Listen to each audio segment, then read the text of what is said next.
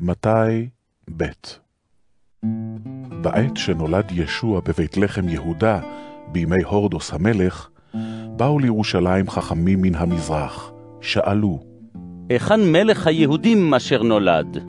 כי ראינו את כוכבו במזרח, ובאנו להשתחוות לו. כאשר שמע זאת הורדוס המלך, נדהם הוא וכל ירושלים עמו.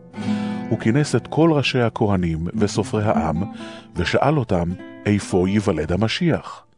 אמרו לו, בבית לחם יהודה, כי כן נכתב על ידי הנביא.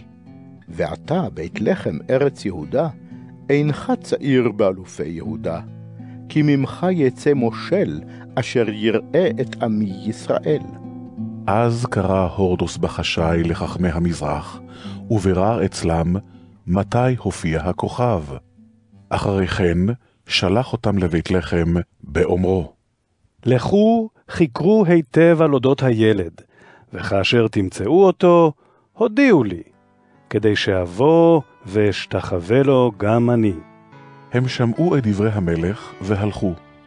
והנה הכוכב שראו במזרח התקדם לפניהם, עד אשר בא ונעמד מעל למקום שהיה שם הילד.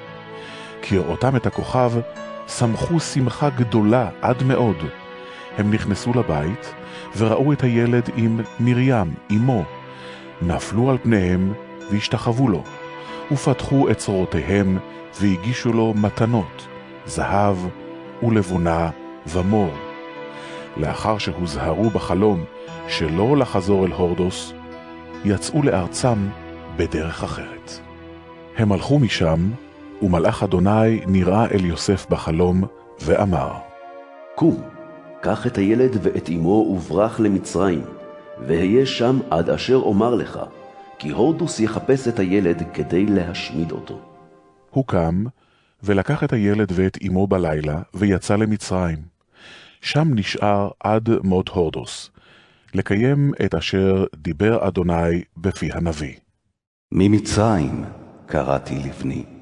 כאשר ראה הורדוס, כי התלו בו החכמים, רגז עד מאוד, ושלח להרוג את כל הילדים שבבית לחם ובכל סביבותיה, מבני שנתיים ומטה, לפי העת אשר קבע מפי החכמים. אז נתקיים הנאמר בפי ירמיהו הנביא, קול ברמה נשמע, נהי בכי תמרורים.